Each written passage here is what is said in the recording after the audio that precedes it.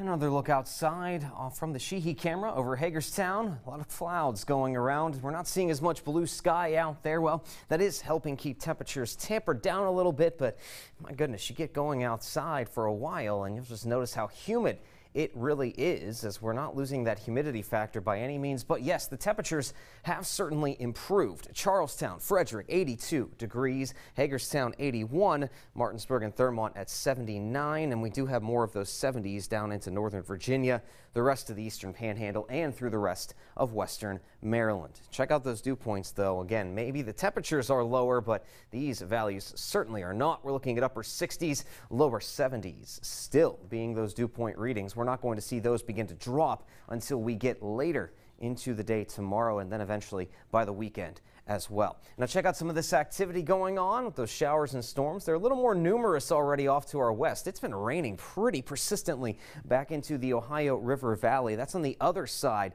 of the Appalachian Mountain chain, however, and back off to the east across the four state region. Well, we've been seeing just some light sprinkles, more or less, mostly across western Maryland up into the Laurel Highlands of southern Pennsylvania. Those showers have drifted a bit toward Chambersburg down into Hagerstown and parts of the eastern panhandle but outside of that activity, it's still relatively quiet, but the chance for additional and steadier showers and storms is there the rest of the day today, and that is all going to be possible because we still have a lot of moisture out there to supply some energy to that development. Now, tomorrow, with an actual frontal system making its way in, we're still going to have rainfall chances, but there's a better chance we have heavier rain that stays around throughout the entire day, and that could lead to a couple of localized areas of flash flooding. We'll just have to watch out for where the heaviest rain sets up throughout the day tomorrow. And then as we go into Friday, behind all of that, it's going to cool down and finally be a lot nicer, less humid as we get into the weekend. But for now,